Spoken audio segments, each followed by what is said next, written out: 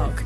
This week is going to be a really busy week. And right now I am heading to BBC Radio Leicester. This time I'm going to be on a curry show.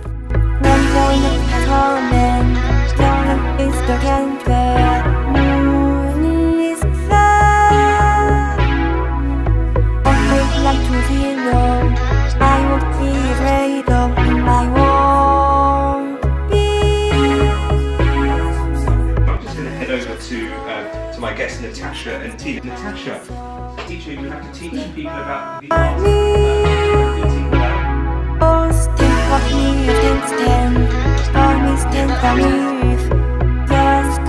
Uh,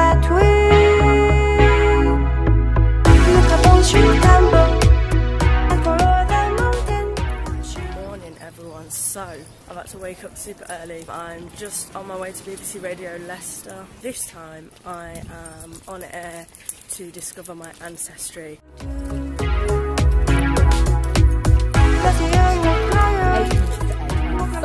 super excited about this next story. Now, do you ever think about your ancestors, where they might have been, and if if anything in your character um, still holds a trace of who they were and where they were, what they might have seen, what they might have been?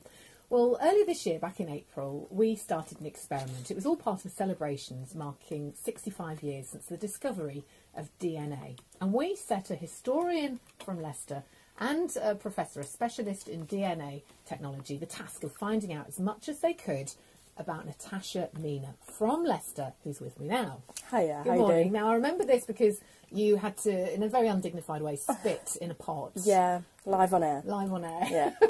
and then Dr. Eran Elhaik was analysing DNA samples that Natasha provided during the breakfast show. So we're going to speak to him in just a moment. How are you feeling, Natasha? I was just saying, I'm a bit intrigued. I'm really intrigued, and it's it's kind of one of those things where you think, actually, do I really know myself? And I don't think I do. Now, you didn't know an awful lot about your family history. So No. tell me the, sort of what you think will, will be there. So right now, as it stands, I believe that I'm half English, and that the other half is a mixture of Egyptian and Sudanese. All right then. So that's the theory so far. Yeah. Are you ready for the big reveal? Yeah, I'm ready. What what is actually in I your was born DNA? ready. She's so excited. Uh, well, Dr. Eran Elhaik is on the line now. Yes, absolutely. So we ran Natasha's DNA in GPS Origins. That's our tool. And the first thing that it does, it classifies uh, different regions with the DNA with different parts of the world where that DNA is uh, uh, more prevalent uh, than other places. And we found Natasha's DNA to be uh, 100% from Scandia. So we're going to phone him up again, and we're going to get him to stand by a window or something. 'cause Okay. obviously, because the line's dropping out. Yeah, yeah. So did you did you just hear a tiny? No. Right, I'll give you a clue. Yeah. Okay. He said Scandinavia. Okay. That, where where did that come from? I know. And which side? Yeah. So there is so there is in your DNA mix there is a, a fairly hefty chunk of Scandinavian Wow. DNA. Let's try again. Sorry about that, Eran. Let's see if the line's a bit clearer. Okay, so we got we got sort of Scandinavia there. Okay. Yeah. Uh, another 12% came from southern France. Um, 11% came from northeastern Africa. Uh, and then there are a couple of components from uh, Siberia region, North Eurasia. And we see here um, some va- uh, Nile Valley region that's uh, associated with uh, South Sudanese, Egyptians, Okay. uh, and some Arabian components. Okay, so there's a little there's a little bit there, but but but I think this this Scandinavian side I think is, is something which just biggest part. yeah. And, Oh, it, it is now what the what GPS Origins also does. It breaks the DNA into two primary components, usually associated with one's parents. That the DNA originated in one place, and then her ancestors moved to another place um, in a certain time in history, which we can also figure out. And we see a movement from Poland to Hungary. Uh, that's probably the European line. Eventually ended up in the UK, but unaltered. Um, and then another one in North um, Africa, moving from Algeria to Morocco. That's maybe more um, the the, the uh, North African line, but it's not Moroccan. And I looked for it quite carefully. Uh, it's not uh, Egyptian, sorry.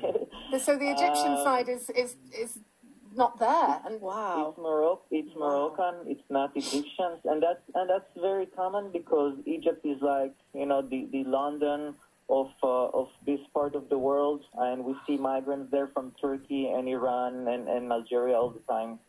So um, so we can uh, make that difference. Um, and and yeah, this is the story of the DNA. And, but do you know what? You are going back though to the first century AD, aren't you? I mean, this this is going back. This Algerian link goes back to, to the start of the of the millennium.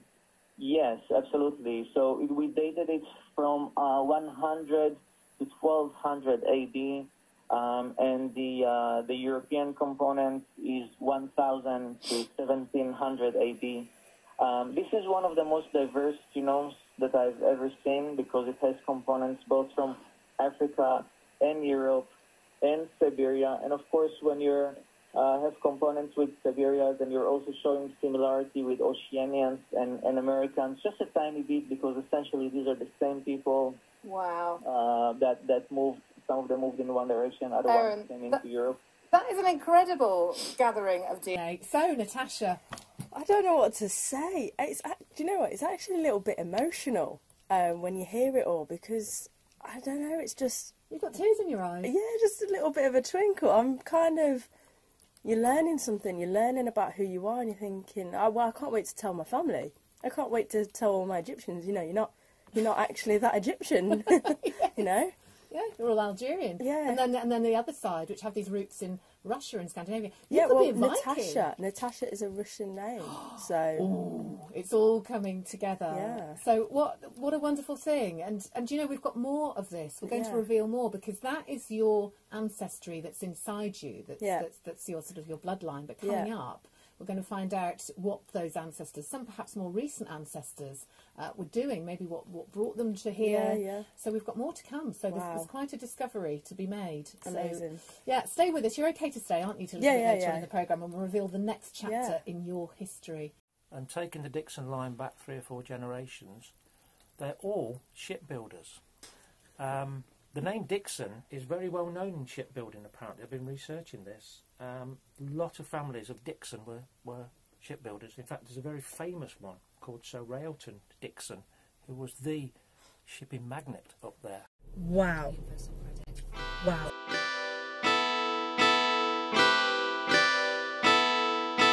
I was on the Curry Show on Monday and I did the tiniest bit of vlogging because I'm rubbish. And then today it was the DNA results, and then the following Monday coming up, I will be on Table Talk. So, BBC Radio Leicester, shout out. Thank you very much for these unique opportunities. Later on, I am going to Nottingham to meet a very special person, and uh, I cannot wait. Right, so it is now about 22 quarter to 12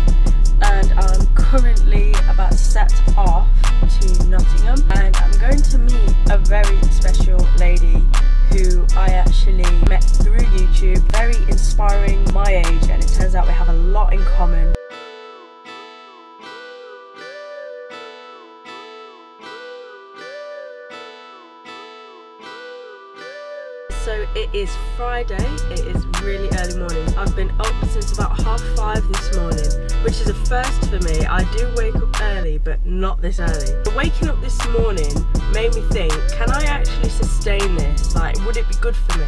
And I have heard of something called the 5am club. Let me know if any of you guys have heard of it um, and the benefits of it. Do any of you guys do it? Um, if you do, leave it in the comments section below just so I can see. I'm quite curious. Would any of you be interested in seeing the benefits? Because I'm actually willing to give it a go. Waking up at 5am for a week and seeing how I feel. I have a feeling it'll be really good for me. Anyway, like I say, let me know what you think in the comment section and uh, maybe I'll give it a go.